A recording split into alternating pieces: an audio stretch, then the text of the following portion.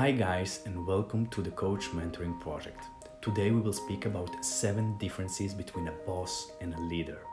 Some people might use the terms boss and leader interchangeably, but that's not entirely accurate.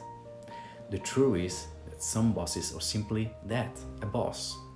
They have attained a certain position in the management section of the corporate pyramid.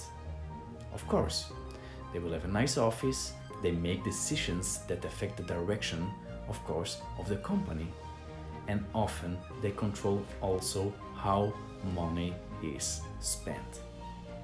None of that makes them a leader, however. The good news is that the bosses can become leaders, and doing so should become a priority for those who want to effectively lead in a workplace. By learning the key differences and applying them to the job, bosses can become the type of leaders who recruit and retain top talent while also cultivating employee growth and increasing a company's bottom line. So, what characteristics differentiate a boss from a leader? The following represents some key distinctions between the two. Number one, leaders lead, bosses push. Leaders motivate their employees, instead, bosses tend to push employees instead of direction, directing them. Point two, leaders listen then speak. Good leaders spend time listening to their employees rather than talking about them. Number three, leaders offer equality. Bosses can sometimes pick favorite employee or two of them, which can result in unfair treatment, such as devoting more time to certain employees than others, giving them more benefits and creating a concrete inner circle inside the company. Good leaders treat everyone equally.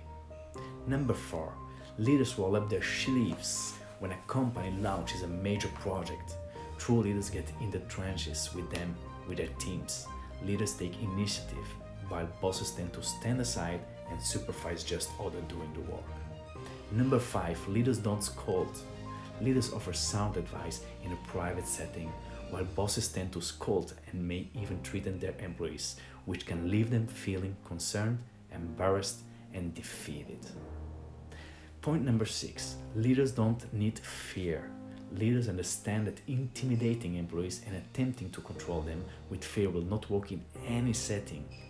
Fear leads to doubts, poor morale, and productively loss. Smart leaders inspire with trust, enthusiasm, and empathy, and display confidence in their employees to make decisions on their own.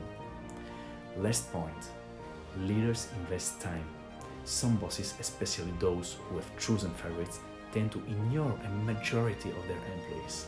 This can give other workers the sense they are drifting with an uncertain future. Leaders don't ignore, they invest time and effort into developing employees in their profession, teaching, teaching them new skills and helping them advance in their career. These represent some of the differences between boss and a leader. Thanks for watching. Don't forget to subscribe on our channel YouTube and check our pages Instagram and Facebook Coach Mentoring Project. To get personal mentor sessions or for any clarification or information, check our website coachmentoringproject.it and fill our contact form. Enjoy.